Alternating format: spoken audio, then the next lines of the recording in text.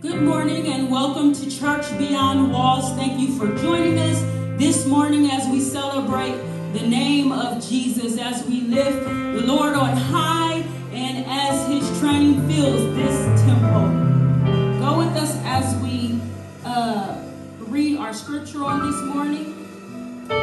We will be coming from Psalm 24. It says, The earth is the Lord's and everything in it. The world and all its people belong to him. For he laid the earth's foundation on the seas and built it on the ocean depths. Who may climb the mountain of the Lord? Who may stand in his holy place? Only those whose hands and hearts are pure, who do not worship idols and never tell lies. They will receive the Lord's blessing and have a right relationship with God their Savior. Such people may seek you and worship you in your presence, O God of Jacob. Father, we glorify and honor your name this morning. We bless you for waking us up, for starting us on our way. We ask that you would come into this place and open our hearts, open our minds, Lord God. Make us receptive and responsive to your word, oh God. Give us a word that will change our lives both now and forever. Make us brand new, a new heart, a new mind, a new spirit, a new attitude, a new purpose, a new reason, oh God. Heal relationships, Lord God. Fix our lives, Lord God. We welcome you in this place. We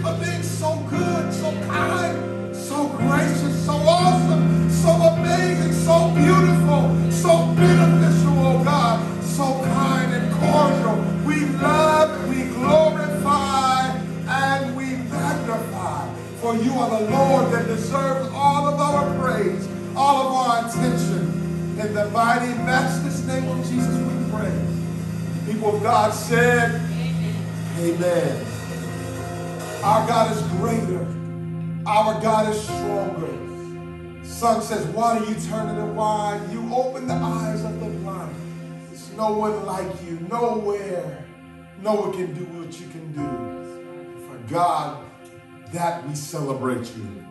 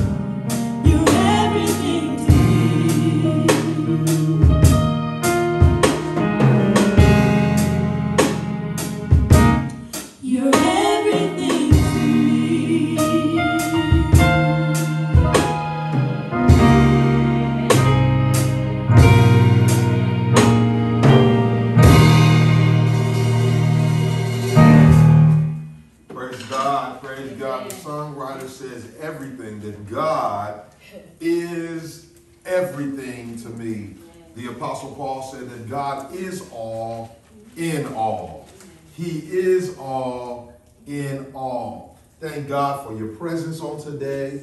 Amen. We are glad to be here. Uh, if it had not been for the Lord on our side, uh, listen, it would, be, it would have been all over a long time ago. A long time ago. So we are grateful for your presence. We are going to go into the word of the Lord on today. But right before we get into God's word, we're going to pray and ask the Lord to open our hearts and our minds to his word. Father, we love you. We glorify your name. We magnify your name. If it had not been for you, we would not be here, God. We ask that you would open up our hearts uh, so that we may receive your living word and cause your word to become alive in our lives, Lord God. We don't want to just read your word, but we want to be a living, live example to the world of what your word can do.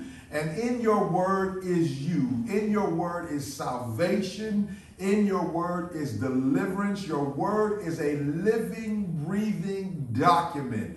And so cause your word to become alive in us.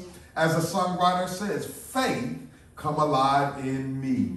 Open our hearts, God. Make us sensitive and receptive to your truth. In Jesus' precious name, we pray. Amen. I want to go to Acts, the second chapter, and we want to uh, just start with verse 21, and then we're going to just do some reading, and then we're going to drop down um, and we're going to look at uh, a few latter parts of this uh, chapter. Amen. I want to go down to verses 36 through 41. So we will read Acts. Um, the second chapter, we'll read from verses 21 on down to, uh, we'd say, um, we'll read down to verse 24. So Acts 2, 21 through 24. And then we'll look at verse 36 through 41. Amen. All right. Amen. The Bible says this, but everyone who calls on the name of the Lord will be saved. Everybody. That's black, white, Spanish, Asian, doesn't matter where you are from. If you call on the name of the Lord, you will be saved. It doesn't matter how difficult your situation is. It doesn't matter how dire. It doesn't matter what you've done. I don't care who, what you've done and who you've done it with. The word says, whoever calls on the name of the Lord shall be saved. That's the drug dealer. That's the murderer. That's the adulterer. I don't care that, listen, even the molester, uh, the homosexual, I, the lesbian, whoever calls on Jesus shall be saved. Let me just say this. When you run into Jesus, you run in one way and you leave a different person. Amen. Amen. Just like that. You can change overnight. Uh, uh, listen, but these changes take a lifetime to unfold themselves. I was going in one direction, but when I ran or when Jesus confronted me, it is the beginning of the end of sorrows of the old life for me. If any man or any woman, boy or girl, be in Christ, he is a brand new project, brand new assignment. You can come into Jesus as a drug addict and leave a free man. Leave a free woman. I'm reminded of John 4. Jesus met this woman who had a problem with men. She had a man problem. She liked men, and, and she was seeking satisfaction in men that only one man could satisfy her. And, and so she had several men, and the one she was with wasn't her husband, but I heard of a preacher that said, but when she ran into the seventh man, and the seventh man is Jesus. And he, he, he quenched her, her, her longing, and she left that day. She was seeking natural fulfillment. Listen, water can't satisfy, drugs don't satisfy, alcoholic beverages. Bevmo can't satisfy. I know, I know y'all like Bevmo, but it won't satisfy what God does. But when this woman that sought temporary satisfaction for something that would last throughout eternity, Listen, the hole is deeper and deeper. So when she ran into Jesus, she never filled her water pot, but she left her water pot and went to her hometown, became a mega evangelist overnight, and says, Come see a man. Listen, she had a problem with men, but she ran into this man. Perhaps she went into her neighborhood and said, Oh, you found a man better than me? Because I believe some of those men that she told about come see a man say, Oh, we was just together the other night and you told me I was everything. Watch a woman that tells a man that she's every, that he's everything. But she said, Come see this guy. He told me everything, and they came, and the Bible says that we came because of what you said, and we found out indeed He is the Savior of the entire world. When you run into Jesus, your life will never be the same. Your language changes, your attitude changes, your appetite changes, your lifestyle changes. What you used to do, this is not a phase, this is a brand new me forever. This is sometimes friendships change and relationships change. When you meet Jesus, the, the narrative of your life, the story of your life, the game changes because Jesus is the game changer. He is the greatest of all time. You, if you want to be better, run into Jesus, call on Jesus. When you call him, he will answer prayer. And those that do call on him, the Bible says in Romans 10 and 14, only those that believe that he's able to fix their life are the ones who call on him. So as I said before, whoever, whenever, however you call, he will rescue you. People of Israel, listen, God publicly endorsed Jesus of Nazareth by doing powerful miracles, wonders, and signs through him. And let's go on. But as you well, as you well know, but then verse 23 says, But God knew what would happen. Watch this here, and his prearranged plan. This is not an accident. what you deal with is not an accident. This is pre-planned. we already knew about this. God said, I knew about this. It may be a surprise to you, but this is a pre-arranged plan. It was carried out when Jesus was betrayed with the helpless, help, excuse me, with the help of lawless Gentiles. And yeah, let me just throw, they were help, they were hopeless and therefore helpless. And so therefore they could not help themselves. Therefore they betrayed Jesus. They set him up. It says, You nailed him to a cross and you killed him. But look at verse 24. But God released him from the horrors of death and raised him back to life again. For death could not keep him in its grip. You see that? King David said this about him, and he says, he says, he's always before me. I won't be moved. I'm cognizant of the presence of God. And then we want to jump down, what did we say? Verses 36 through 41. So let everyone in Israel know for certain that God has made this Jesus, whom you crucified, to be both Lord and Messiah. Peter's words pierced their hearts, Sister Paris. And they said, they said to him and to the other apostles, brothers, what should we do? The pastor didn't say, come. They said, what must I do about this situation? Peter replied, each of you must repent of your sins and turn to God and be baptized in the name of Jesus Christ for the forgiveness of your sins then you will receive the gift of the Holy Spirit. This promise is to you, to your children, and to those far away, all who have been called by the Lord our God. That's the backstory. Everything that happens is consequential, Brother Sam. It's because God had something to do with it. If it had not been for God, you wouldn't be here today. I wouldn't be here today. We wouldn't be here today. It's a consequential move from God because God made a decision, because God made a move. The ripple effect is that we are here today. And he says this promise is throughout generations for all of you. And then Peter continued preaching for a long time, strongly urging all his listeners, save yourselves from this crooked generation. Watch this here. Those who believe what Peter said were baptized and added to the church that day about 3,000 souls. To the utmost, Jesus saves.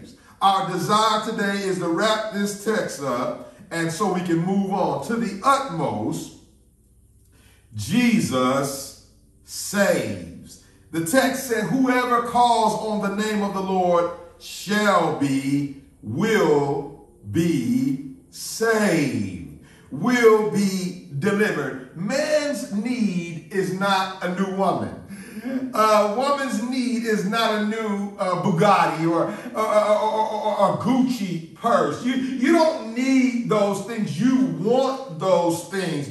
I don't need to have a lot of money. I like a lot of money, but what I need is deliverance. Deliverance from the past. I need salvation. What good does it do to have all of these temporary things. The Bible says, What does it profit a man to gain all of these things and lose his soul? Watch this here. We have to make a decision, and we are making a decision either for Christ or against Christ. There is no middle ground. You either are for him or you are against him. You, you, are, you, you either are on the team or you're not on the team. So you are either in agreement or you are his opponent. I would hate to be an opponent of Jesus. I would hate to be at war with God. The Bible says it is a dangerous thing to be at war, to be in the hands of an angry God. He sent Jesus to die for me and to die for you.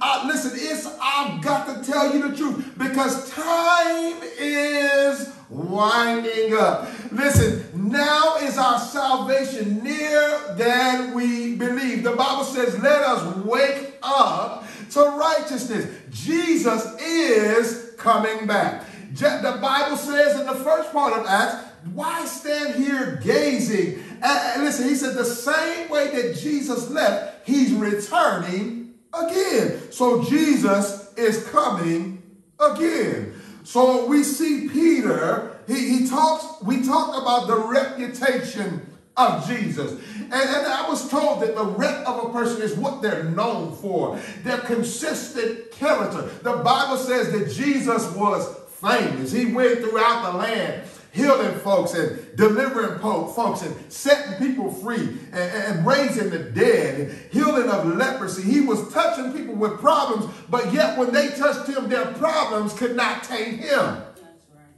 Let me just stop right here to tell you I don't care how bad it looks, God can't be brought down by you, but God will pick you up with Him.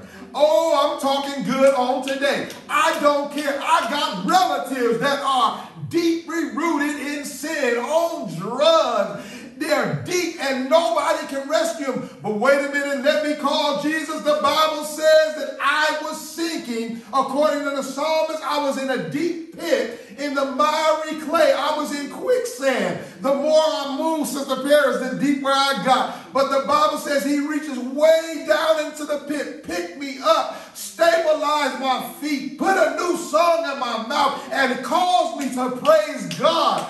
Watch me, and the songwriter says, Thank you. The hymnist says, I was sinking deep in sin, far from the peaceful shore, very deeply stained within, seeking to rise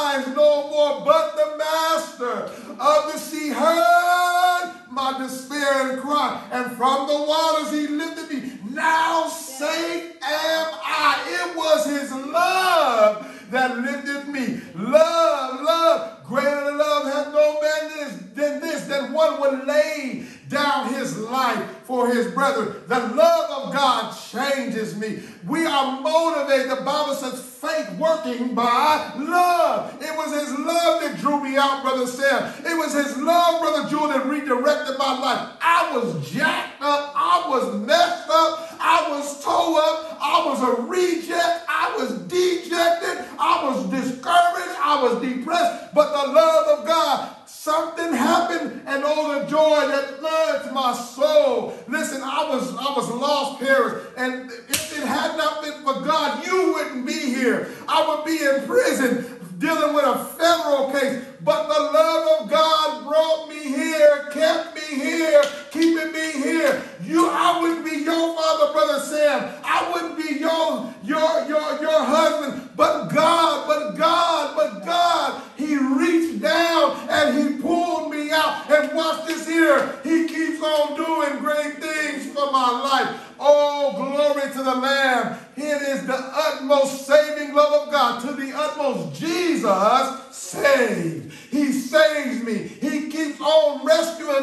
All you got to do is call on him in the day of desperation and he will bring you out. Yes, he will. Yes, he will. I love this passage because it doesn't matter what you say. It doesn't matter what other people say. He'll never change. She'll never change. It's just a phase. That devil is a lie. Because when God gets on board, he makes a new person out of us. He puts himself into us and he says, let's go, let's do this, let's make it happen. I will use your life as a testimony and you can tell all your friends, he did it again. You did the, the, the songwriter says, fight this battle for me, prove that that was wrong so I can tell all my friends that Jesus did it again. Yeah, he YDI, you did it again. Yesterday, my sister was out, but you made it away. You did it again. My mama was sick, but you brought her out. You did it again. Uh, we, we thought it was all over, but you did it again. He is the Savior of the world. The world, the world, the world, the world, the world. I don't care where you are at. He'll pick you up. He'll turn you around. He'll place your foot on solid ground. Yeah, yeah, yeah, yeah. So the text, so the text, so the text says, whoever calls on him will be saved. We said he's Jesus Christ, the Lord. Jesus is his saving name. Christ is his strong name. And Lord is his sovereign name. Shall we go on? We said last week that Jesus is the source. We, we said that not only is he the source, but he was sent for us. Uh, we said he seeks us out. The song says the reckless or the relentless love of God. There's no mountain you won't climb up. There's no wall you won't kick through coming after me coming after me. Jesus wrecked his body to save us. How did he wreck it? He was beat all night long. They plunged a crown of thorns in his head. They spit on him. They talked about him. But the Bible says he never said a mumbling word. He never complained, but he put his case into God's hands. He said, I came here for a purpose. I'm going to fulfill that purpose. So when I can look around, it is finished. It's done. It's a done done. It's a listen. Th- there's nothing in your life that's a deal breaker for God. I gotta say that. So he he he was sent for me. He seeks me out, and then he saved me, and then he solves it and soothes it for me. Then the text goes on that he was Jesus' reputation was identified by miracles, Sister Mo, wonders and signs. Miracles is the power of God, Sister Paris. What is it that God can cannot do? The Bible says, now to him who is able, brother said, to do exceedingly, able to do abundantly above all that you ask or think. Don't tell God what he's able. Don't limit God. Ask and let God say no. What if God says yes? So he did miracles through Jesus. That's the power of God. And he worked wonders through Jesus. That's the effect upon the individual. The Bible says that he's excellent in greatness. Praise him. Let us bow before our creator. It is his excellent greatness. He's skillful. He's beautiful beyond imagination. And watch this here. He can heal you. He can pour into you without draining himself. He is the unlimited God. He is the all-powerful God. Great is the Lord and greatly to be praised. Can I go on? Now listen, the Bible says that signs is the message attached to it.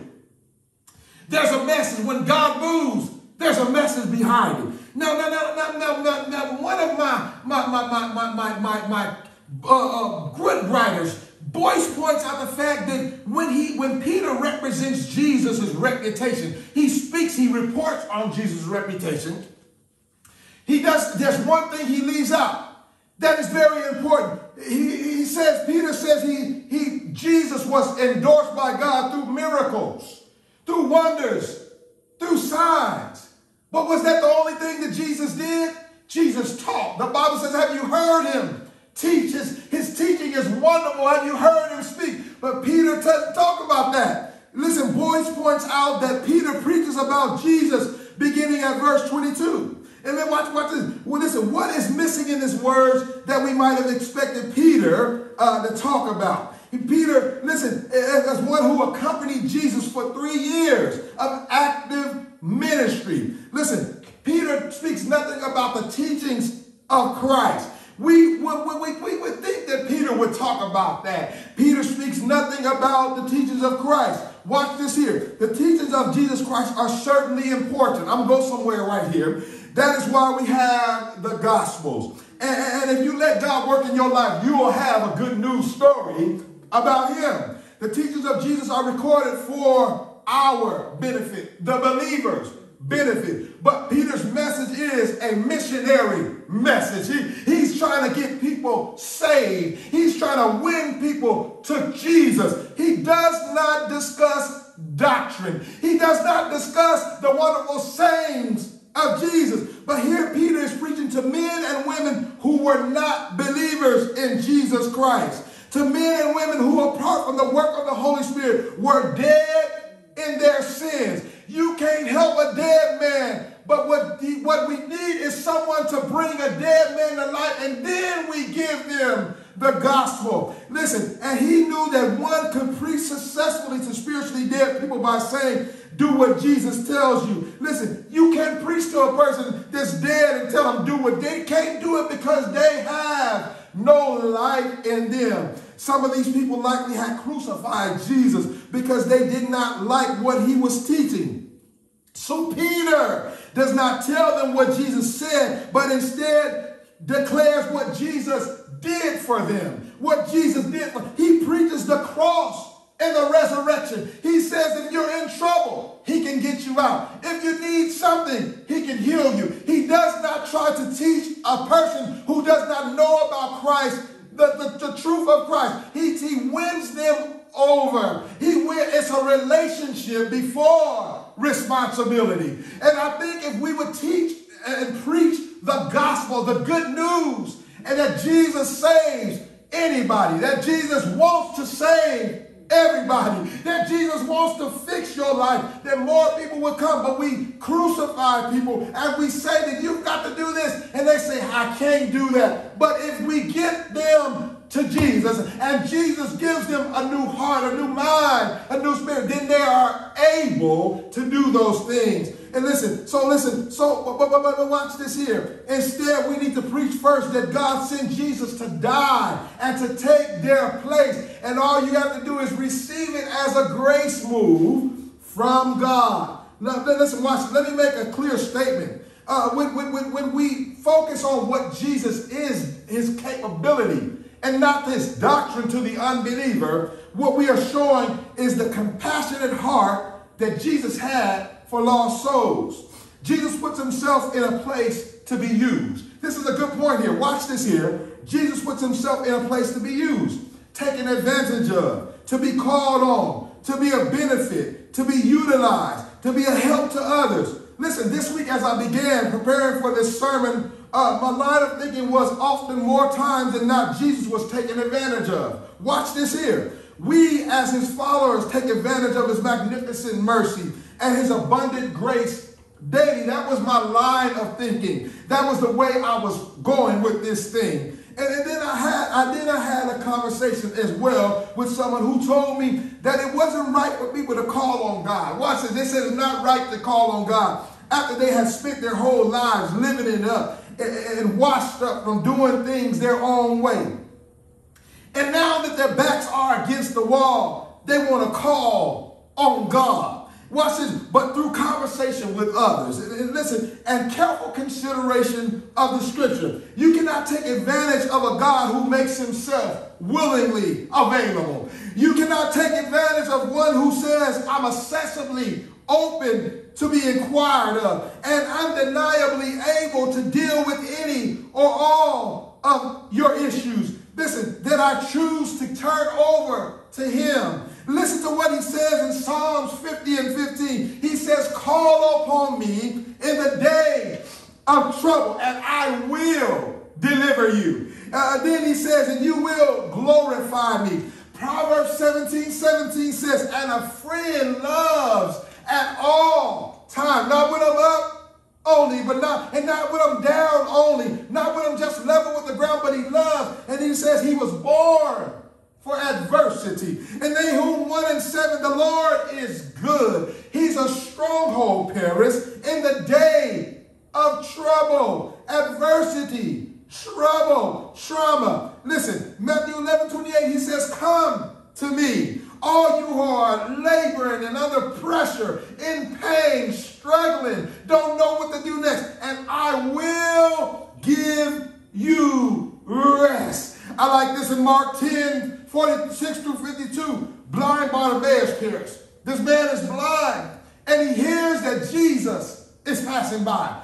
I believe Jesus purposely went through that way because he knew that this man was in a situation that none of y'all could heal him of. And, and that, that's the problem. We're practicing on folks. Don't tell people what you can do, but point them to the one that can do anything. So this man says, Jesus, thou son of David, have mercy on me. And what does Jesus say? Jesus, the Almighty God, stopped in his tracks. He says, tell him to come to me. I like that. He says, Tell that blind man, come to me. Tell that lying man, come to me. Tell that drug dealer to come to me. Tell that despicable, idiotic man to come to me. And he says, I have one request I want to see. And he says, I will do it as you requested because you believe. I don't care what you're dealing with. God is a game changer.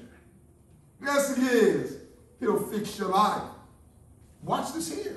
Can I go on and work this? Grace received. Grace received and enjoyed is living and experiencing life with God advantages. I'm going to say it again. Grace received and enjoyed is living and experiencing life with the advantages of God, the rights of God, the privileges of God. Listen, consider this, my friend. When God moves in your life, when God gives you something, it is his privilege. When God saves, that's his privilege. When God opens up doors, that's his advantage. Watch this here. Listen to this. All power is his. When he releases or gives some of his power or works on your behalf, that's a God advantage that you get to benefit from.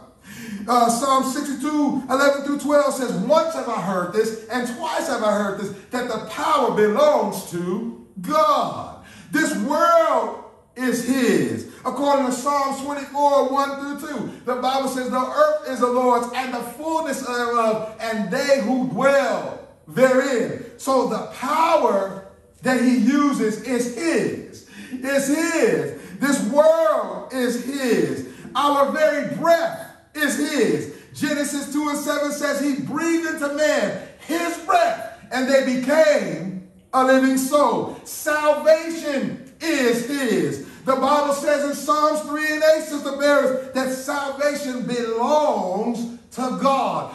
Birthing of salvation belongs of God. It was in the mind of God. Salvation belongs to God. Peace belongs to God according to Second Thessalonians 3.16. May the God of peace give you his peace.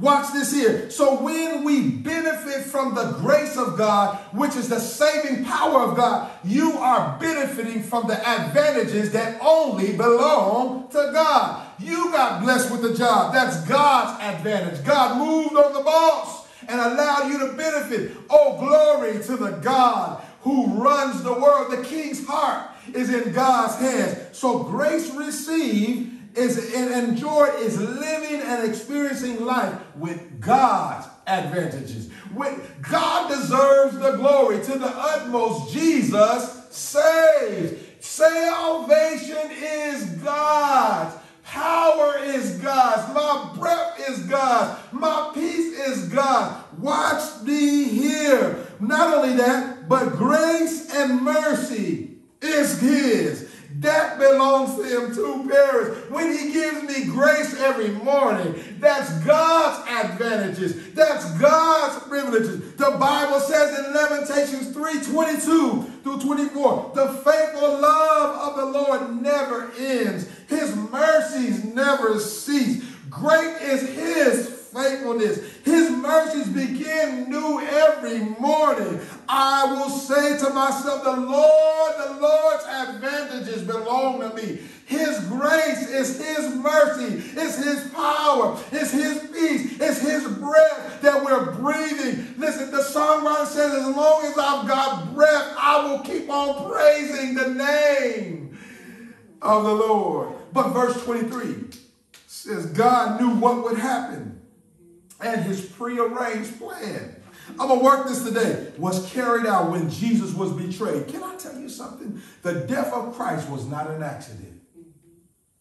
Uh-uh. Uh-uh. Luke 9, 21 through 22. The Son of Man, verse 22 says, the Son of Man must suffer many terrible things.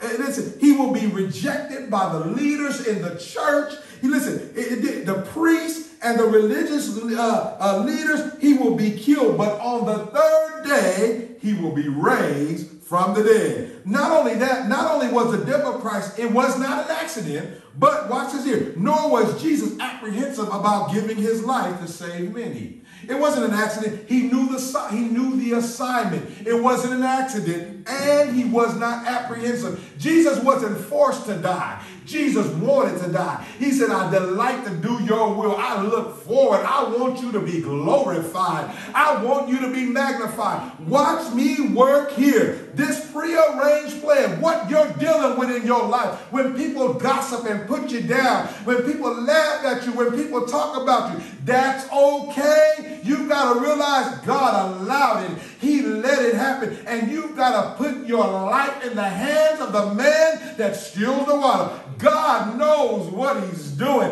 And when he gets done with what he allowed you to go through, you'll be better for it. Thank God for trouble. Thank God for your enemies because you got to stay focused. You, you got to stay purposeful. Jesus knew what the assignment was. He came to do the will of God. And had Jesus got unfocused and not finished, we would be lost. We would be destroyed. But thank God for the loyalty of the Lamb. Thank God for the devoted Son of God. Thank God for deliverance. Thank God for freedom. Thank God for peace. Thank God for grace. Thank God for mercy. Thank God for his joy. Thank God for his unspeakable gift. It is the grace of God that we're benefiting from. You are benefiting from the advantages of God himself. You ought to glorify him. You think you got your, that job because you're great. If you are great, he made you great. If you are smart, he gave it to you.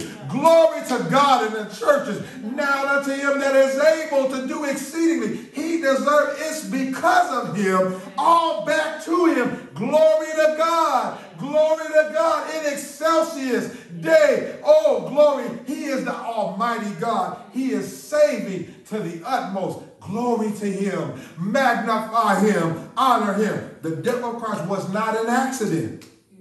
Nor was Jesus apprehensive about giving his life to save many. What does Philippians 2 and 8? But he humbled himself. He humbled himself in obedience to God and died a criminal's death. Was Jesus a criminal? No, but you are. Was Jesus alive? No, but you are. Was Jesus a drug dealer? No, but some of us have been. Was Jesus a homosexual? No, some are. Was Jesus a lesbian? No, he was not, but some are. But Jesus took your place. The Bible says that he who was rich became poor that we might become the righteousness. He, he traded places. I, the song, I'm trading my sorrows for, for the joy of the Lord. He traded places so that he could save us. Watch me work here. The Bible says in Hebrews 12, 1 and 2, it says, we have a, we've been surrounded by so great a cloud of witnesses. Let us consider Jesus. Watch this. Who is the author and the finisher of, uh, finisher of our faith. Who for the joy that was set before him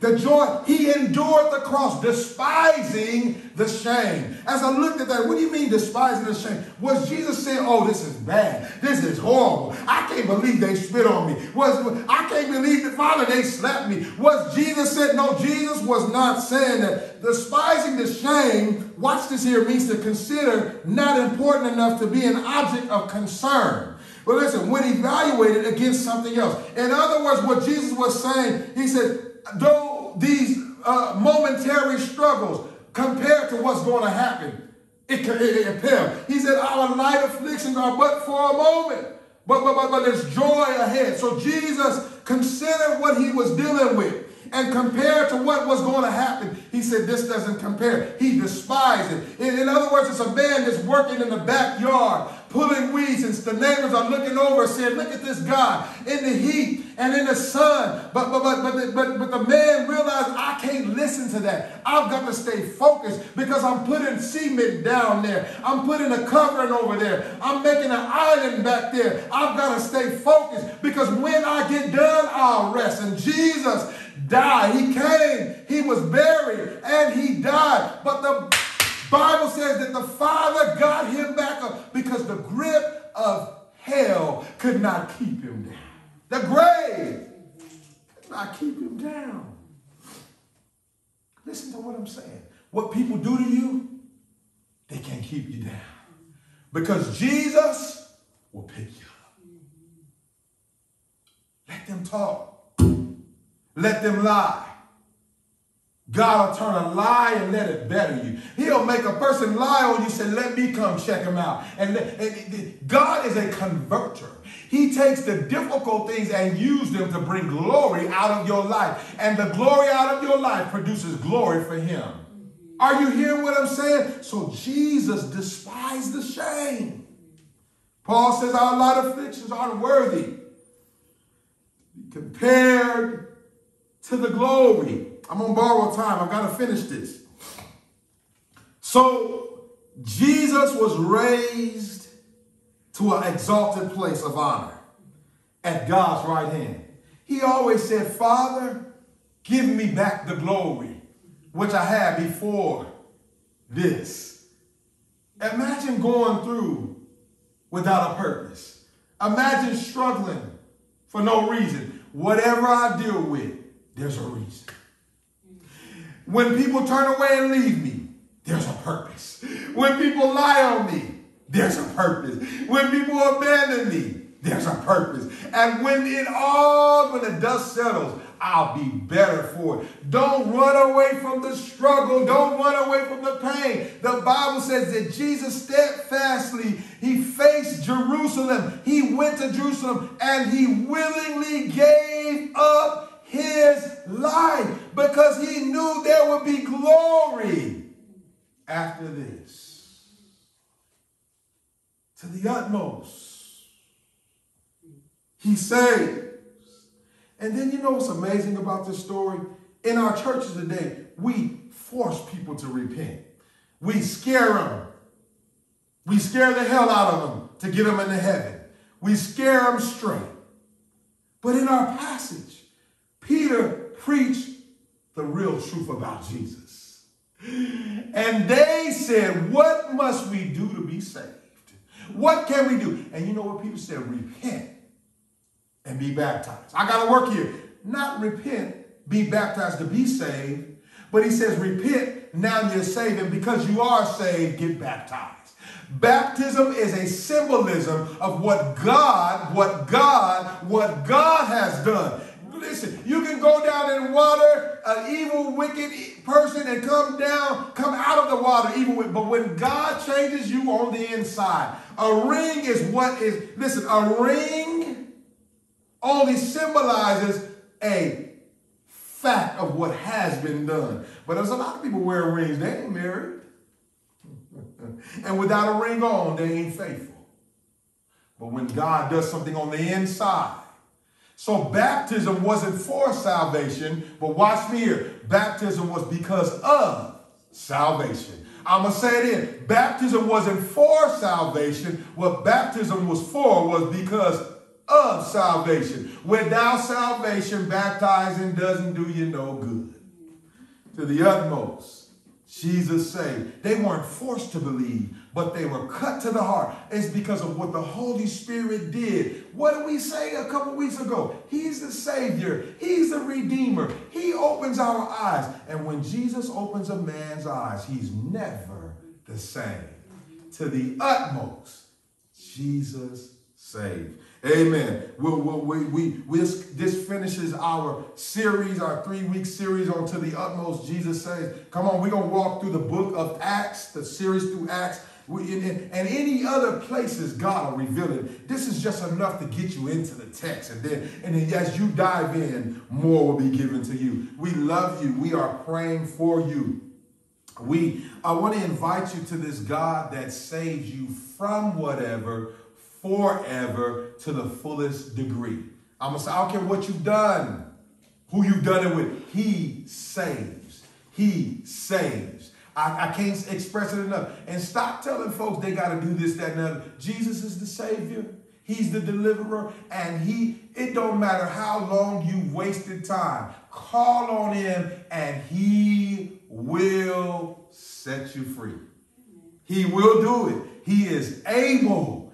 And then we want to invite you to be a part of this body where you will be needed and utilized. And watch this here. Don't go, don't, don't, don't get, don't go move too quick. You need us. You need us. Uh, we want to invite you. And then we also want to invite you to uh, invest not only your time and membership, but invest your talent, uh, your ministry, and we are asking that you would invest your treasure. It takes money to do ministry. Let's be honest about it. It takes money to ministry, and every giving that you give is tax deductible. We are a 501c3 ministry. It is tax deductible. Amen. We want to give you uh, a few different options. You can do so via our Cash App platform, Cash App platform to the dollar sign. Church Beyond Walls. You can give so via Venmo at Church Beyond Walls. You can do so via PayPal to area code 951 522 2125. And you can give via Givelify. That's G I V E L I F Y. Like glorify, but Givelify. Amen. And you can, um, uh, Church Beyond Walls. You can locate us, Church Beyond Walls. You'll see our, our logo there, see a few different things, and uh, you will see our address there. We love you. We are praying for you, and we will see you again. Come take this journey with us as we go through this series through the book of Acts. What God did through regular men and women like you and I. It's God's work. We are his people, and glory will be added unto him in Jesus' name. We will see you again the same time next week.